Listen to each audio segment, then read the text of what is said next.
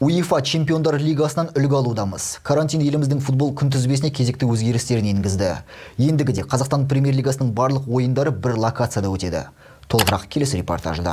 Бәрімізге мәлім осы жылдың наурыз айында футболдан қазақстан премьер лигасының екі тур ойыны өткен болатын. Ал үшінші тур кездесулері шілде айының бірінші жұлдызында өткізілді. Араға бірнеше күн салып елде карантиннің енгізілуіне байланысты турнир кезекті мәрте тоқтатылды. Жақында чемпионаттың барлық ойындарын бір жерде өткізу туралы шешім қабылданды. Шахтер футбол клубының баспасөз хатшысы әділет сәрсенбеков осы жайттың артықшылықтары турасында сұхбат берді. Проведение матча в Алмате и Талгаре. бұл қазіргі жағдайға байланысты қабылданған оң шешім деп ойлаймын. Себебі кездесулердің бір локацияда өткізілуі қаржы жағынан көп шығынға кетпеуге өз септігін тигізеді. Және ойыннан кейін қалыпқа келуге де тиімді жағдай жасалады. Сондай ақ ойыншылардың сыртқы ортамен де байланысы азаяды.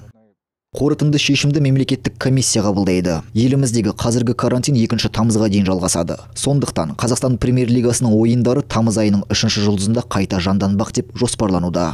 Турнир кездесулері алматы және талғар қалаларында өтеді. Қазірде орталық және жас қыран сынды қос стадионда ойын өткізуге рұқсат берілген. Ал бірінші және екінші лига командаларының жарыс күнтізбесі не болмақ?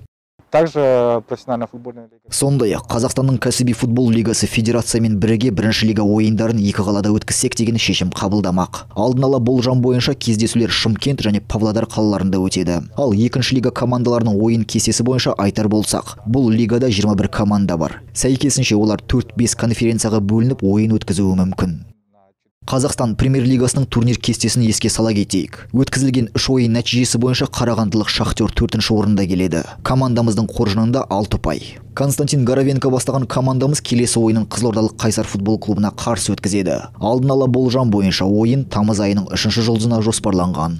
Бекежан Ардағұлы, Николай Шевелев, 5 арна.